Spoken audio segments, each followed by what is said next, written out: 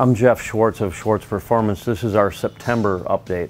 What we have here is a 65 Impala SS and we've developed a chassis for this. We're just in the stages of uh, building the first two of them uh, for customer cars. Uh, this one here is getting mini tubbed uh, and we're going to install the chassis for the customer and then it'll get shipped out and uh, built by Arlington Motor Cars. This 65 Chevelle came all the way from Arizona to get a chassis installed as well as some rust repair. Uh, we're mini tubbing it and also putting a new floor pan in the trunk. This 66 GTO is getting the exhaust fabricated now and then we will pull off the chassis and uh, do the powder coating. Uh, the customer recently decided to paint the car so we're going to re be repainting it as well. Thank goodness because there was quite a lot of runs and overspray and orange peel on it. This is the 65 Impala chassis. As you can see, it's almost done. Uh, we're making jigs for it and so forth, and uh, it should really improve the handling of that car. This is the 1967 Corvette uh, Roadster that we've been working on. Uh, both Corvettes, one coupe, one Roadster. We did wide bodies on both of them along with our Schwartz G-Machine chassis for C2 Corvettes. Uh, this one is uh, Shark Gray from a 2015 Corvette and this one's got the LS7 427 with the dry sump oiling system and uh, some custom interior touches that aren't quite done yet. The Baer brakes uh, are 14 inches and these are the Pro Plus ones. We've been working on this 82S10 truck for the last month as well. Uh, mainly we're doing uh, interior work, wiring and so forth. We've got the dash in there, the steering column, the steering wheel and so forth. Uh, take a look.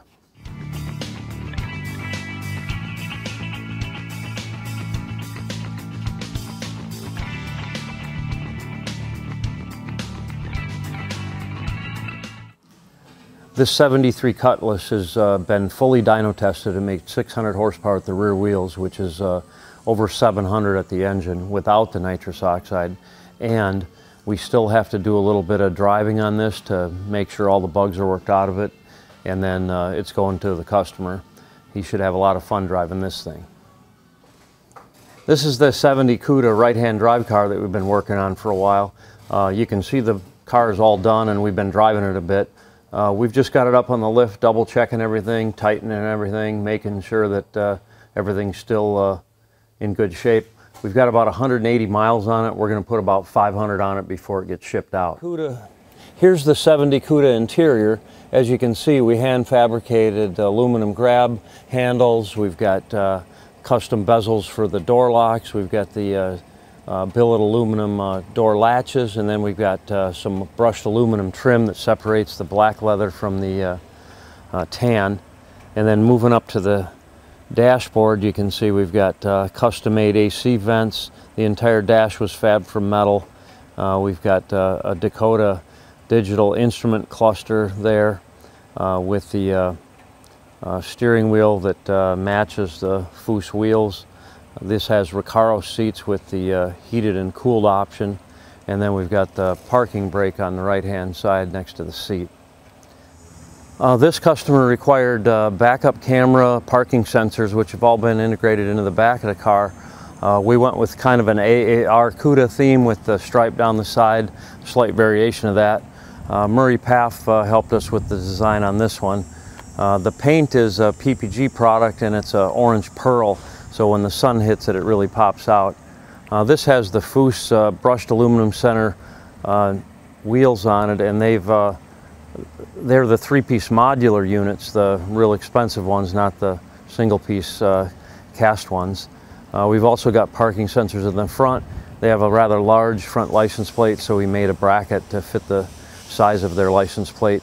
We've got driving lights and uh, headlights uh, that are high intensity units. Uh, the Baer Pro Plus brakes are on here with the Schwartz logos and this also has the RideTech triple adjustable with remote reservoir. This is our 426 Hemi. This is the modern 6.4 that's been bored and stroked to 426. Uh, this has a Magnuson supercharger and it made 805 horsepower on the dyno and uh, around 800 foot-pounds of torque.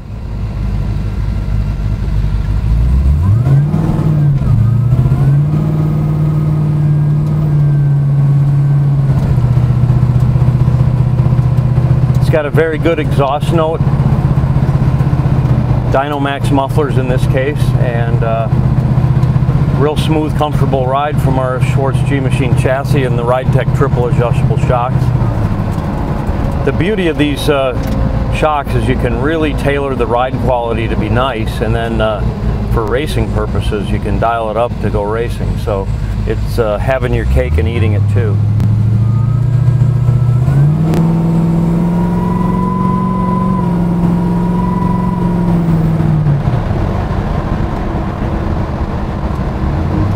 It's so quiet in here you could have a cell phone conversation.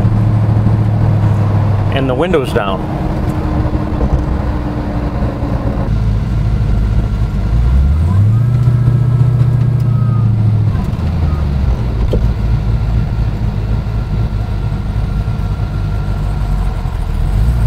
Well, there you have it. A fully running and driving and functional car that started out as just a body shell.